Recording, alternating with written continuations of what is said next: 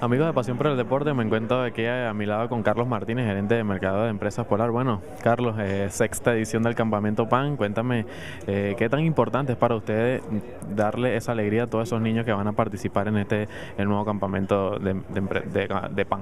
Como tú dices, eh, una mm, iniciativa que estamos hoy anunciando del sexto campamento PAN, lo vamos a hacer en cinco ciudades, Caracas, Maracaibo, Puerto Ordaz, Táchira y Valencia.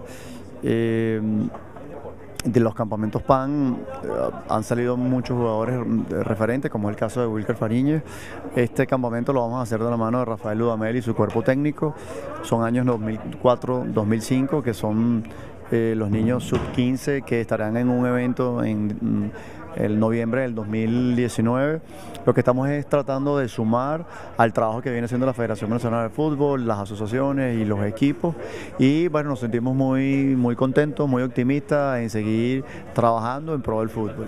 Me comentas que eh, de la mano de Rafael Dudamel y su cuerpo técnico también van a estar participando en el campamento. ¿Qué tan importantes son ellos dentro de, de, de toda este, esta actividad? Total, total. De una otra forma ellos son los que van a hacer las selecciones, eh, ellos son los que van a buscar eh, esos talentos.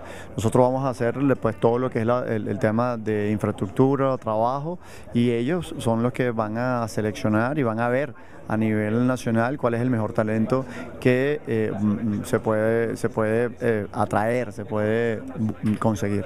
Cuéntame un poco de ese sueño que le van a cumplir a los, a los 15 ya seleccionados finales cuando viajen a, Colombia, a Millonarios, a, una, que estén una semana por allá y, estén tan cerca de Wilker Fariñas, que es uno de los, de los grandes jugadores que salió de este campamento. Sí, eh, como tú dices, se ha logrado hacer un acuerdo con el equipo Millonarios y estos 15 jóvenes van a vivir una experiencia de una semana con el equipo, van a poder estar eh, en, el entrenamiento del primer equipo, van a poder jugar uno o dos partidos con la sub-15 del, del equipo, ojalá que coincida y que se pueda dar un, partido y definitivamente es una experiencia inolvidable que van a vivir estos, estos jóvenes eh, desde todo punto de vista.